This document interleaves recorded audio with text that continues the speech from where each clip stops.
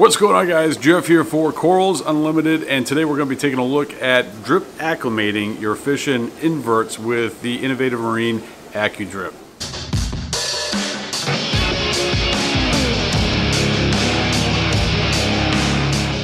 Welcome back to the Corals Unlimited YouTube channel. If you are interested in what we're doing here, make sure you hit that subscribe button and the bell so you can be notified every time that we upload a new video. Now today we're going to be taking a look at drip acclimating fish and inverts, so let's jump into it. For years and years and years, I've always have been a proponent of drip acclimation and that is a very important subject. Uh, but this is a tool that makes drip acclimating a lot easier and you know, for some folks, like I got airline tubing that works good enough for me. Sure, that will work. Uh, but there are some things that are built into this product that make drip acclimation much easier and very simple and very fast.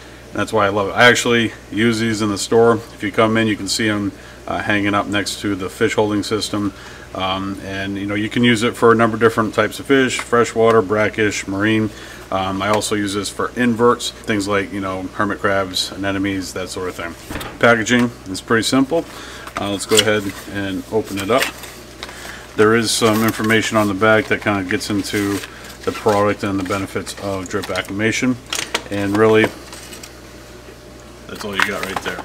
Alright, so pair of scissors. Be very careful when you are removing this tape. I want to cut that tubing. And here you are. So you got, obviously, I'm not going to be able to get it all on camera. So you have a good length of tubing. Uh, it's very soft to the touch. You have your U-tube. Then you have this right here, which is quite often seen on IVs. Uh, and that's basically going to get the suction going. So for those folks that use the airline tubing and a valve, with this device, you no longer need to haul the air out and drink salt water.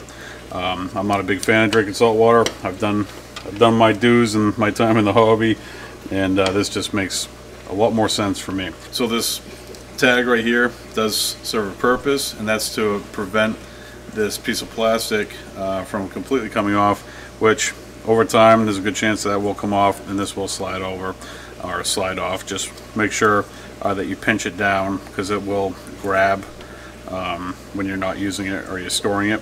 But what this does, this little wheel here, is it basically uh, replaces the valve. And as you wheel it down to the bottom, it will completely pinch off this tubing.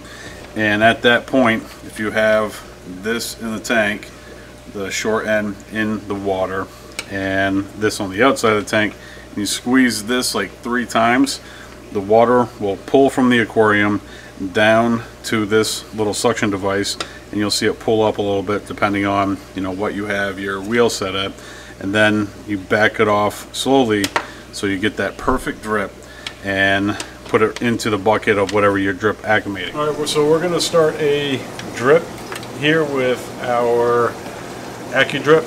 Uh, basically what we're to do is take the U-tube, put the short end into the tank, and then obviously if you're doing this on a reef tank at home, you want to make sure that you have uh, your auto top off turned off because you'd be draining out salt water and pumping in uh, fresh water, which would not be good.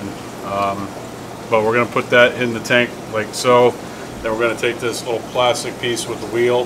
We're going to wheel that all the way down to the bottom on the short end. So this is our end right here. We have that facing down. Wheel down to the short end.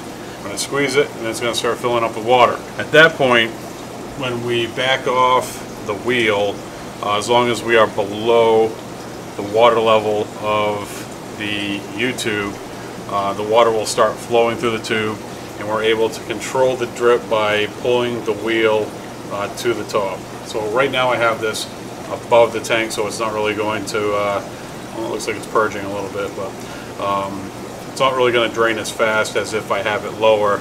Like I do have a bucket down here to my right. Um, but we're going to go ahead and back that off a little bit. We're going to drop it in our bucket. A good speed for your drip is about a drip every second typically I'm going to drip acclimate uh, inverts and fish for about 45 minutes uh, because there is arguments against drip acclimation uh, and that temperature fluctuation. So obviously, like the old school, uh, three hours of drip acclimation is probably not the best idea. Uh, so it's probably a little bit better, you know, to do a little bit quicker of a drip acclimation to ensure that your critters are not going to get cold and then they can get into the tank um, where they're probably going to be a lot better off than in one of these buckets.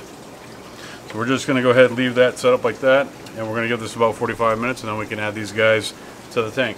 Alright folks, that's going to do it for this video. Thanks so much for joining me. If you're new to the channel, don't forget to hit that subscribe button and the bell so you can be notified every time that I upload a new video.